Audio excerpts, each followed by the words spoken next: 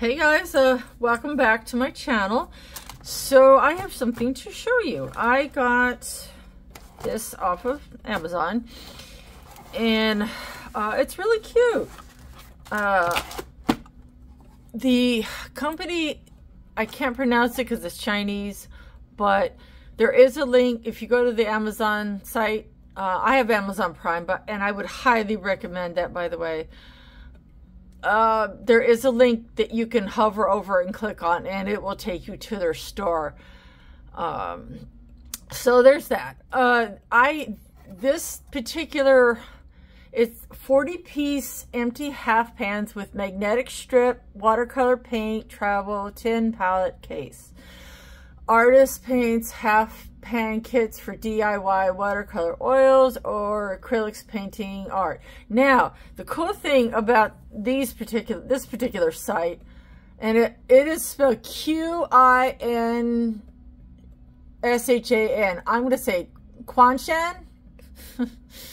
that's that's my best guess, but it comes in a really cool arrangement of like you can just buy the pans and the magnetic strips by themselves without a case or you can buy uh, they have like roses which is the one i got.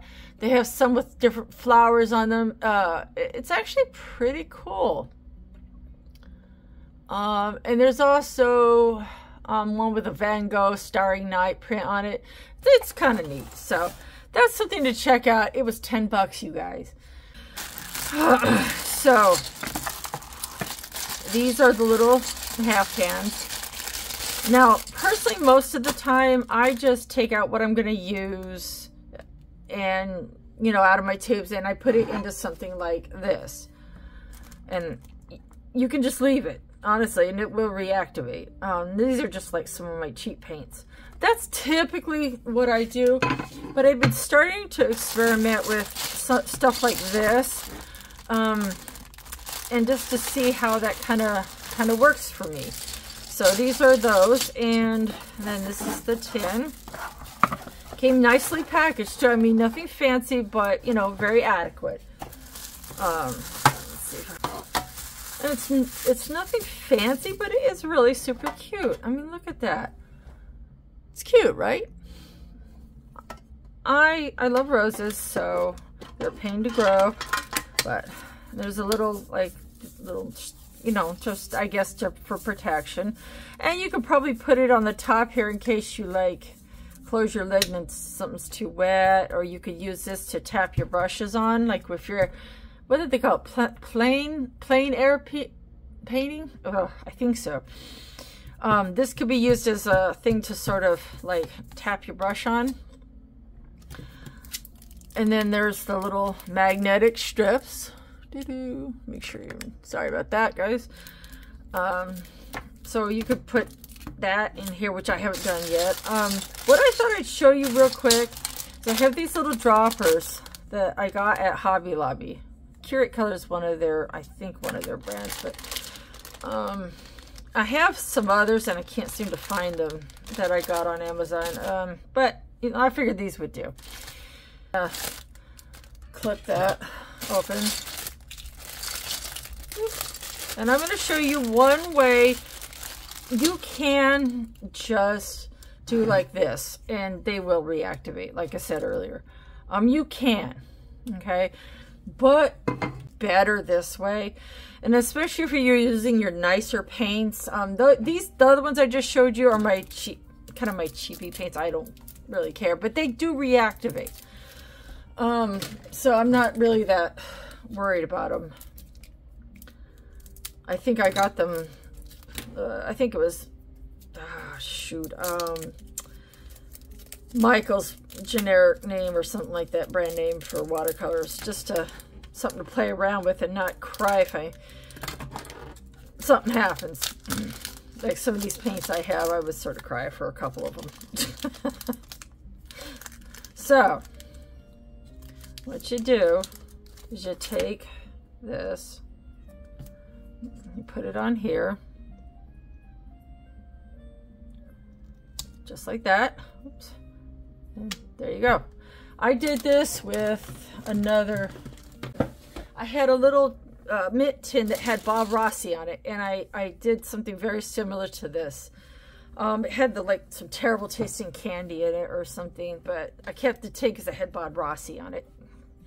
So once you get that in there like that, um, or you can do it out of it. I would recommend kind of doing it out of it. Unless you want to, you, you know, unless you don't mind if it accidentally spills.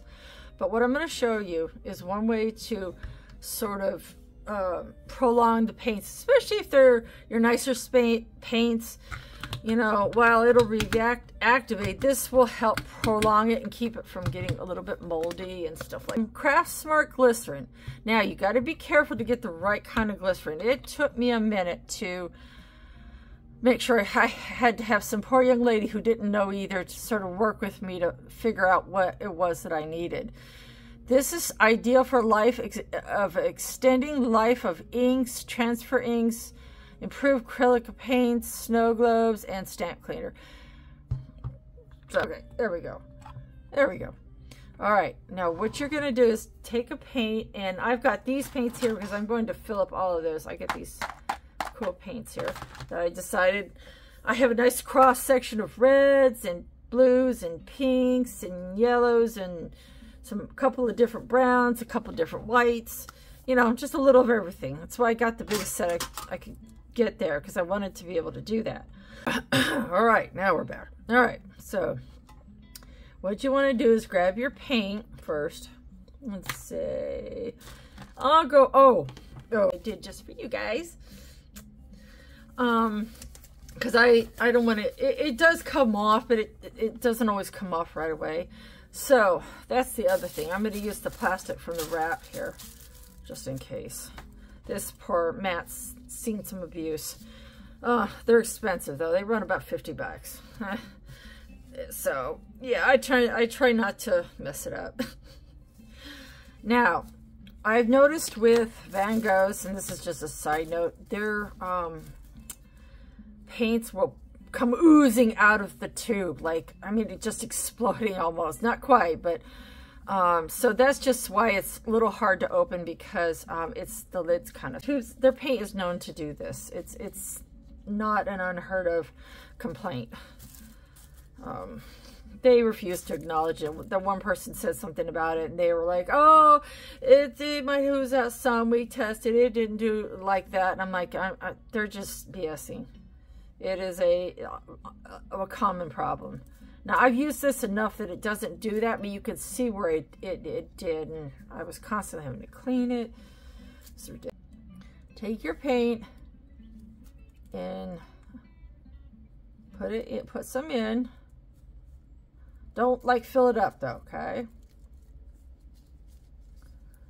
And just and that's another reason why I have the gloves on is I don't want to get this all over me. It's it's a pain to get off. It, it is. And, um, yeah, Phthalo Ultramarine, extremely staining. Gray, they're very, very, very staining. Highly staining. Don't hit this too hard or you'll splash the paint, but just enough that it settles it. And that's another reason why you don't want to fill it out. And it also sort of gets out any bubbles that might be if that happens, just grab, I honestly, this is one of the best tools. Before I knew how, what tools to use, this is one of your best tools, just as a, another side note, because they're skewers, like for, you know, shish kebabs and stuff. And if um, it, when it gets dirty or dull or whatever, you just grab your, or an X-Acto knife and just, zoop, like that. And not only do you clean it, but you sharpen it. And they're like maybe two, three bucks for a, bunch of them. They that I will them down to about here and then I toss them, or unless they break. But either way, it's it's it they're you can just do it like this and then kind of give it a, a little shake. This kind of helps to make sure you don't have a lot of air bubbles and things of that sort. Like I said. So, what you want to do is get your little dropper, um, and I highly recommend these. It, it, $1.50 at Hobby Lobby. If you don't have Hobby Lobby, Amazon. There's other kinds. You can get the little medical kind that still work for this. And just one only need one to two drops. Uh, that's it. And I know this the hard way because when I added too much, I added like three or four. I didn't know any better. I was playing, I was just goofing around. And it made the paint very oily. So when I say one to two, even if it's a full pan, one to two is all you need. Or otherwise, you're gonna paint's just gonna be oily and it, it, it ruins it. It was cheap paint, so I didn't care. But for this paint, not so much. It, this is still budgety, but it's not as budgety as what I was using, thankfully. You can see I, that that was that quick and just take your excess. Um, hold on, you probably can't see. Just take your excess and just squeeze it back into, um, sorry, my kitties wanting my attention. And then you just put it somewhere, I don't know. Uh, I'm just going to set it to the side here. Make sure you leave the lid on, put the lid on because this would make a serious mess. And I think I paid, oh my gosh, I've had this for a little minute, so trying to remember. Uh, yeah, this is the glycerin not for food. That's what I was trying to mention to you earlier and I forgot. Senior moment. the When I was talking about the right kind of glycerin, this is the kind for crafts. They're, they have glycerin that's for food. Um, so things of that nature. So make sure you get the kind for, for like crafts and, and stuff, not the kind for food. Okay, see, not for food use. So that's really important. I think a lot of people, when they're doing certain things, they tend to use glycerin, um, and but they use they end up using the wrong kind, and it can be a disaster. So I've already put that in, and I'm gonna gently put the lid on. And I'm going to give it another stir. Oops, make sure you use the right end. And make sure you guys can see what I'm doing. Or I'll hold this up. Sorry. There we go. And just give it a gentle stir.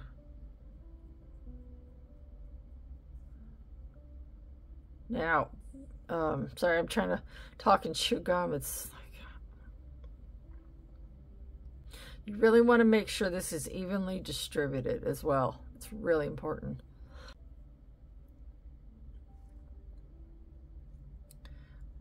Just wipe off in the corner a little bit. Make sure you have a paper towel or a hand towel like this because you will need it. See what I mean how, how staining that is? Imagine that on your skin. My allergies are going crazy.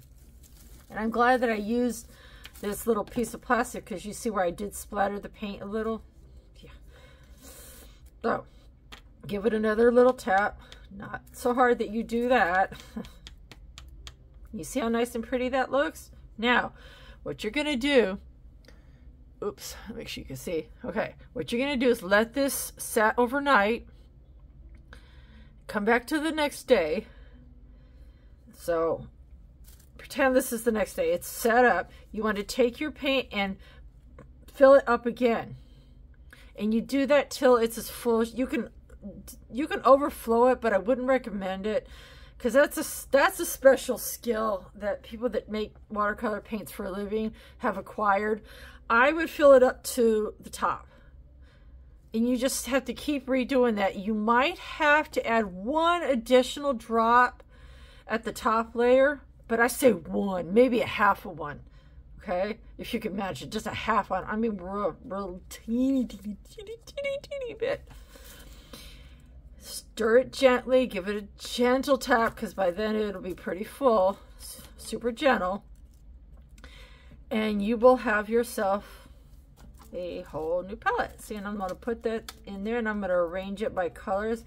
I've got a bunch of um, See, these are the paints that I'm going to use. Mine is this one.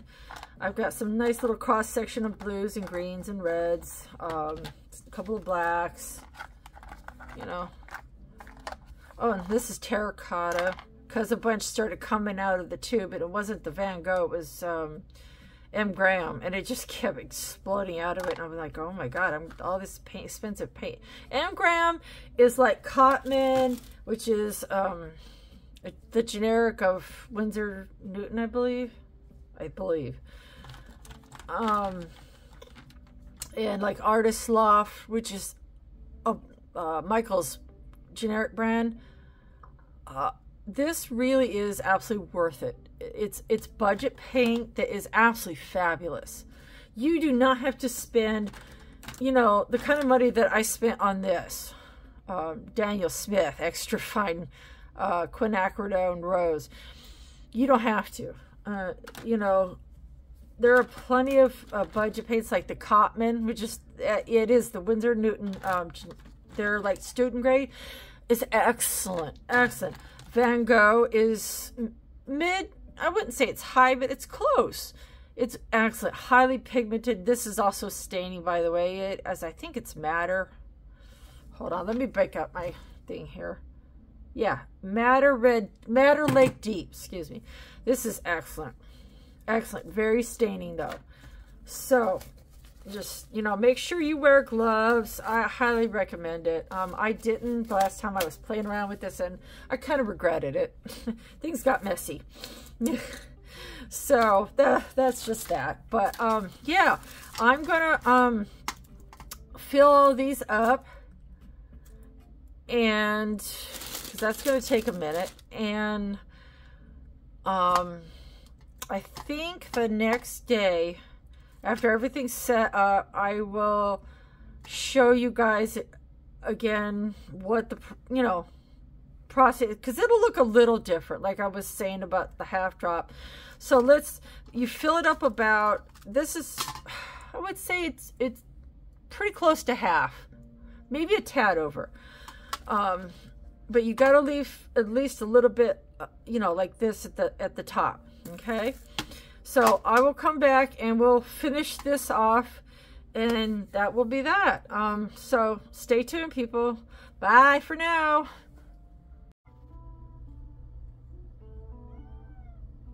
Hey guys, so this is the last part of the video. I've let some of this dry. Oops, let me turn it this way, sorry. I let some of it dry and set up and then I refilled it and I'm, we're going to talk about some things that I think are important. So let me state, but first of all, that I'm not a professional watercolor maker. Okay. As you can tell, I am not a professional at, at that. I'm still, I'm still learning a little bit myself. But as you can see, that it's come up pretty good. Now, the thing that I want to talk about is the difference in how some of them look. Um, so you see how th this one is cracked and that one's kind of cracked. Uh, this one's sort of cracked. Those are the really budgety uh, watercolors that are a little bit old. And, and the problem what you get with the older watercolors uh, is that they tend to go bad faster or not the older watercolors, the, the, the super cheap ones tend to go bad a little bit faster. Um, they have more fillers, you know, so forth. So, like this one is not too bad. This is Master's Touch, and that's this one right here. And it's not too bad. However, the, this yellow ochre, if I can find the... These are the... I put these paints into this little container because I didn't want to forget, you know, which ones I used. I think the yellow ochre is a artist artist loft, which is a Michaels uh, brand, and that's kind of what I'm looking for right now. Here it is. Okay. There, so I have two artist lofts in in here. I have this artist loft, which is uh, a little bit different grade than this. This one's a little higher uh, of a grade of uh, watercolor than this Artist Loft. Okay, so this is more like something you would use for like children, older children, not like five-year-olds, but you know, 10-year-olds or something. It's not bad. It's okay, uh, but this one's this one's a little bit better. Okay, this that's that's what this is. Is that right there? The um, I don't know if you could tell.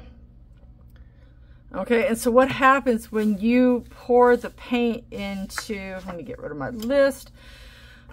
when you pour paint that's a little bit old and is not, you know, the highest end type of paint, this sort of thing right here can happen. It, it, it can crack. Plus, I probably didn't use quite enough of the glycerin. I don't I hesitate to add too much because, because as you can see with a couple of them, it gets it can get a little shiny. Uh, you, so you really do have to be very, very careful with how much of that glycerin you add. It can really cause some problems and ruin your watercolor. And most of these are, are student grade, but there's a few that are a little above that. Like I have some M. Grahams, um, which are, uh, they're not like Sennelier per se, but they're not, they're really, really, really good paint nonetheless. But that's why that did that. The, and the other thing that I want to talk about is this one. I had to take this one out because not only did I forget my Payne's Gray, which let me state is a must for any watercolor palette. Um, you must, must have in Payne's Gray. And the reason why I say that is it is one of those like miracle colors that just changes so many other colors and for the better. Now, is it going to, you know, reflect well on every single color? No. But Payne's Gray, if you're going to like have a list of 12 colors per se, um, you know, way smaller than this, Payne's Gray is an absolute must for, for any watercolor palette. Unless it's like pastels, eh, then maybe not. But yeah, Payne's Gray is a must. And I realized I had forgotten it. So I was like, oh, crud. So I took out my Chinese white. Now this is a Academy, which I got from Hobby Lobby. I've had it for maybe a few months, six months. But when I went to push it out, it had solidified on me. And I was like, oh my gosh. So, okay. This is what, even though I tried to add some glycerin and, you know, a little bit of water, this is what it looks like it, looks absolutely horrible. Like, I, I think it'll still work. Um, I'm going to find out. But there's an obvious difference, too. But the white that's here, that's, that's titanium white. Can you see the, let me see if you make sure you can see. Can you see the difference? The titanium is much brighter. Okay. I'm gonna I'm gonna keep this and play around with it and see if it's still good. But I figured if I was gonna take out one, the the one that's kind of not great, that one can go. Because Payne's Gray it's just got to be included. This is what happened, and I was just like, crap, really? I don't know how it was when I got it, but I got it on clearance, so that might tell you something. Watch this. Uh, that, that, oh, sorry. That ain't normal. You see how stiff that is? That is not normal. That should not be coming out like that. So, if any of you guys know how I can fix this and salvage this paint, um, I don't know if it's going to work in here or not. Um, I might try adding a little more glycerin to that um, and see if I can salvage it. Um, I was sort of ticked when I saw that. I was just like, really? So, that's just something to be aware of. I'm not sure what else I can do to try and fix that. Always keep a tissue or hand towel, paper towel, something like that because paint painting is messy. So anyway, some of the nicer ones, um, see I made a list. Always make a list right here. So row one, row two, three, four. Always make a list. And as you can see, some most of my higher ones, like my Van Gogh, and again, I know they're not like Sennelier or some of the other ones out there, but they are a very, very excellent, excellent grade of student paints. Very, like the Phthalo, oh my gosh, it is, and my Ultra, it is so, they're so vibrant. It's, and they're highly staining, as I mentioned earlier in the video, so you might want to get like a thing of these gloves. But look how freaking vibrant this is. It's just, it's bananas. Look at that. It's absolutely bananas. It So just be very careful. It, it, it, they, it really does, that and the ultramarine really do. Oh gosh, really do. And there we go. Shut the mess. Okay. So you can see that those ones uh, did really well. Um, my Cotman, which is the one next to it, Uh, the Intense Blue is nice looking. My other Van Gogh is nice looking. The ones that really I had issues with, with one or two exceptions, were the really lower grade of, they don't last as long. They just don't because they just weren't made with the same kind of care and attention to details some of the student grades or the linear types, you know. But it's still usable. So, and I could not believe that I could not find any yellow, any other yellow ochre in a tube besides this. I was like, really? So, I will be remedying that soon. Um, but what I did is I put my Payne's Gray here next to um, my lamp, lamp black.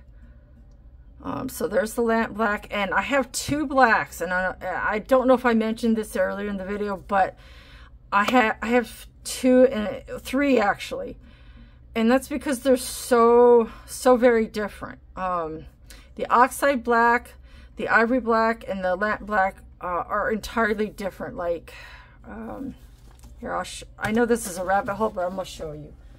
Let me get a, a piece of uh, paper here. Ugh. I'll show you what I mean as a, as a side note here. Uh,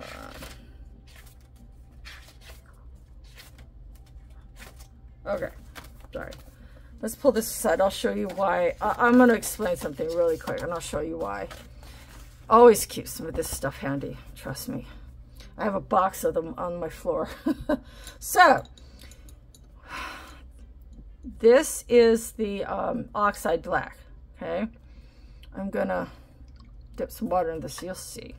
Uh, by the way, Oxide Black from Van Gogh is granulating. It is very, very granulating. It's uh, amazing, amazing paint. You don't have to spend, you know, $100 or something on a tube of paint. It's just, you see how quickly it activated? I hope you can. Um, so let's push this aside so that you can see. This is the oxide black. Isn't that absolutely gorgeous? And watch it as I as I kind of go. Watch how that granulates. Isn't that absolutely gorgeous? Now, you see how the little the little um, beads of paint. I don't know. That's the pigment granulated here. I'm going to see so you can see. You guys see that? All of that. That's That means it's granulating. All those little spots of pigment. That's the granulation. It's fantastic. Um, it is honestly one of the coolest colors I've, I've ever come across. It's great for if you're doing um, night night sky uh, uh, some of the darker like rocks and, and, and, certain things of that sort. It's, it's fantastic, fantastic, versatile color. I'm only just begun to explore it, uh, truthfully. I haven't had it more than a few months, and I'm just absolutely in love with this color. Wait do you see when it dries. So, I'm going to rinse my brush, and I'm going to look on my map because a lot of these colors down here all look the same. That is why it's very important to have a map of what you're doing.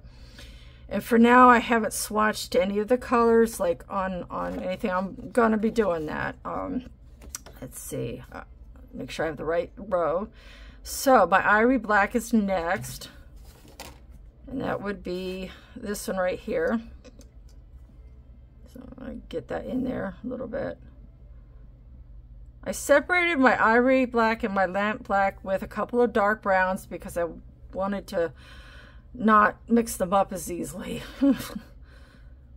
my vision is a little sketchy some days, so, but hopefully you can see that. I may need to scooch in a little bit. It, it activated pretty easily too. I believe this was by Master's Touch, which is the Hobby Lobby generic, like Artist Loft is Michael's generic brand. Master's Touch is Hobby Lobby's brand. This is also a little bit granulating, but not as much as the Oxide Black. Okay, not quite as much. It's, do you see how um, warm it is? Like that's, that's kind of a warm black. Ta-da! It's a nice warm black. And if you, my uh, stuff that I, my setup may be causing some shadows. If it does, I'm really sorry about that. I hope you'll look past that little issue. Um, so let's go to two more over and go to the, uh, make sure I get the right one. Okay. The lamp black is right before the Payne's gray, so that would be this one. See what I mean about being important to have a map? okay, and I'm just to drop the water on there and let it kind of set for just a few seconds. You don't want to just plunge right in, okay? And you see how I didn't like dig, I just kind of gently tapped? That's another thing. Now, look at the uh, lamp black, especially as it dries. It's also a little bit granulating. The most granulating being the oxide black, obviously. Now, I don't know like the pigment specs or none of that. I, I, I'm only just beginning to learn.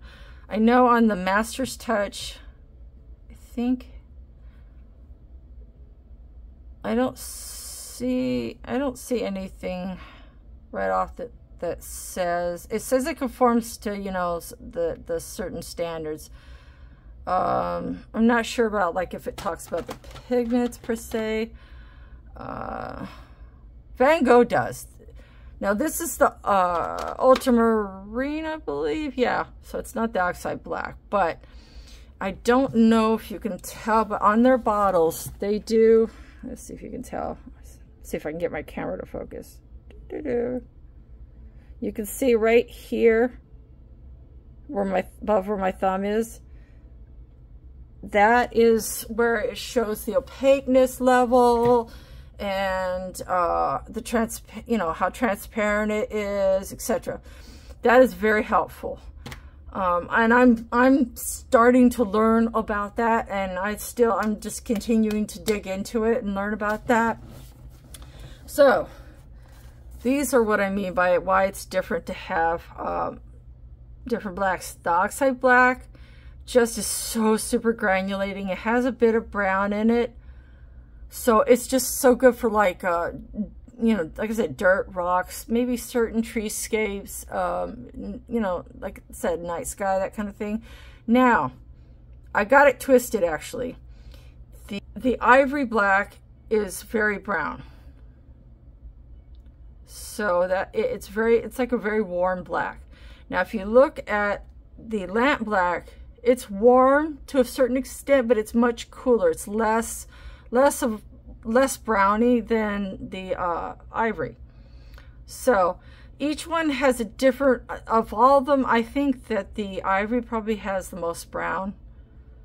But the, the lamp is a little bit cooler. And this one is just a, this wonderful granulating mix of both. It's, I think, in my opinion, it's just, that oxide black just, whew, it absolutely blew my mind when I was trying to do some rocks with it. And it was just like, oh, wow. Highly recommend that color. Uh, I don't know if other other groups do that, um, besides Van Gogh, do that color. I would assume so, but I don't know. I know Daniel Smith has certain colors that are just for them.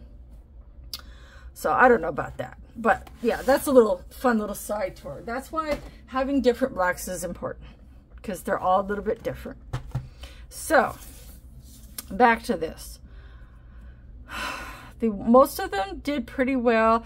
I had to add a little bit more glycerin and a little bit of water to get some of them to not look kind of like that. And that's that's my Daniel Smith that did that. I was like, wow, it's not that old either. My, my, my Mayan Violet did that. So I was a little surprised, you know, that um, it went down like that. It's not too bad, though. So, I mean, if I was selling it, I guess it would be. It came out pretty good. And, I mean, for what I paid for it, there's... I would also make sure that your pants are dry before you put this on. Um, isn't that absolutely adorable? So, back to the other thing that I was going to show you guys. A fun little thing that you can do to swatch your paints do instead of getting a resist crayon, which this is a resist crayon. Sorry, hold on. There we go. You can get these from Hobby Lobby, you know, Wal I don't know if Walmart has it. Uh, Michael's, Amazon, whatever. Not too horribly expensive. They're basically a clear crayon. However, if you're doing something like this, what I'm about to do, this, this could be very useful, what I'm about to show you, just to keep it sort of, because I have a, a 40 pans worth of paint to, to put onto here, front and back probably. So, grab this. This is your secret right here. That, that's your secret, people, right there. And I don't need this per se, uh, but this, this kind of sharpener works really good for the resist crayons and the regular crayons. This one, I could use this sharpener in the back. They had these when I was a kid. Boys takes me back, my gosh. All right, so I might just use this because it's a little handier than trying to having to turn that around. So what you're gonna do is, you know, make sure you follow your list and grab your crayon and let's see. So my first thing on my list is Phthalo Blue. So to me, Phthalo Blue is, and you can do like a, a test swatch if you're not sure have a piece of paper uh, that's handy. You know, I've got this. And if you're not sure, just, you know, grab a scrap piece of paper, drop a little water. In fact, you know what? Here, this is what I'm going to do. I'm going to spray all of this with some water, but I have to take it off camera because I don't want to get my paper wet. But I'm sure I've mentioned this before. This is a very, very worthwhile thing to get. Okay, it sprays it out a, a, really nice fine mist. All right, so as you can see, it's it's wetted it all pretty nicely, and I'm going to stick my finger in the paint. All right, I've got my brush wet. I'm going to use my paper towel to just do a little test paint of this. Ooh, look at that sucker. That is just gorgeous. It is so gran. It's a little bit granulating. I think it's relatively transparent, but oh, it's just so staining and granulating. It's just incredible. So that gives me an idea of what to look for here. So pull out your crayon and you say, let's see what's gonna match here. Let's try this one. You can get the closest that you can to it. That's, a, it's not bad. Could be a little darker.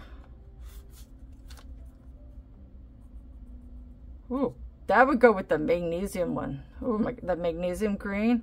I'm gonna keep that out because that will fit for that perfectly. Let's see, let's try this one. That's pretty close. All right, so we have a winner. Turquoise blue. So, what you do, going everywhere. All right, take your crayon, make, make sure you got some camera, and also a Sharpie, first of all. Sharpies are a little more water resistant, or if you have a micron pen, um, that works too. And I'm just gonna write row one. Now, I wasn't paying attention what I'm doing, but this paper, both sides are pretty bumpy. There's usually one flatter side and one side that's bumpy. Um, this paper apparently doesn't have that, so take your crayon, make sure it's sharp, by the way. So you can either use this sharpener or the one in the box. And however big you want your swatch to be. Whoops, sort of messed up. And watch out for um, the, uh, yes, you can see the unevenness unevenness of the um, thing is sort of causing some issues. Um, so what you want to do instead of smearing that away with your hand is just grab something like this and just do that. It's a little better. I'm gonna just make that look nice and neat. Okay, now you take your, and I would even it also write the name of the crayon and the name of the paint um, I think that's probably a great idea. So let's see.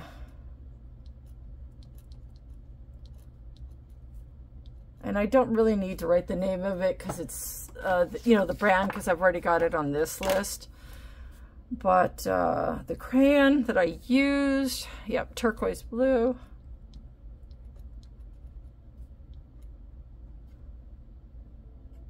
And Crayola.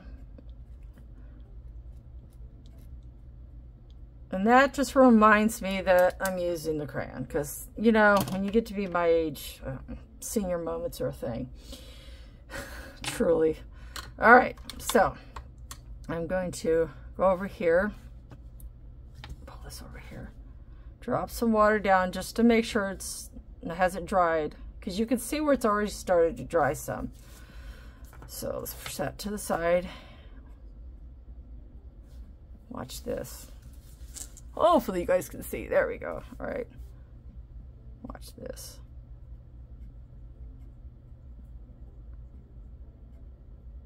And I'm going to wipe on my towel, wipe the excess on my towel because I'm going to, not, I'm not dipping it in the water.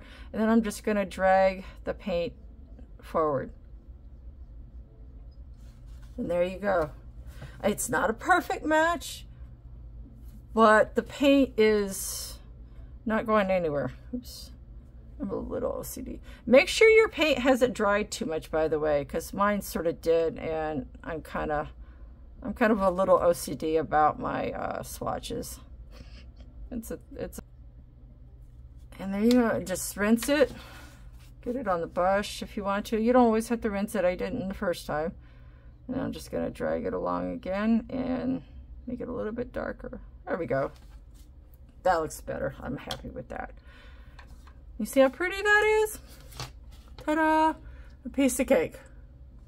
And you don't have to worry about it going all over the paper, going into, running into the next swatch uh, space. It's, it will, it won't go anywhere unless you fill up the tooth of the paper higher than the level of the crayon. So it's the same way with the oil, you know, pastel pen uh, crayons. That's where you just kind of put it on there nice and dark to where the tooth is filled out, you know, brush it away. And that way you can fill it up just enough to make a good swatch. Sometimes you might have to go back in and do it again. But that's kind of the deal. So, um, yeah, I'm going to go ahead and just do all the rest of this and I will include a photo of that um, when I'm done. And yeah, I think that's it, guys. I really hope you enjoyed that.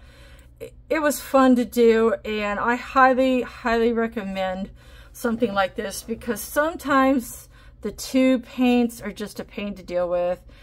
And while this was a pain to do, uh, you know, I have my own palette the way I want it with the things that matter to me in it. And I've got, um, yeah, give it a try, guys. And let me know, you know, if you've tried it and did it work for you. I would really love to know. And please don't uh, forget to like, share, and subscribe. I would really appreciate it. I am trying really hard to grow my channel. And I'm almost, I, I'm not too far from 500. And I think at 500 I can monetize.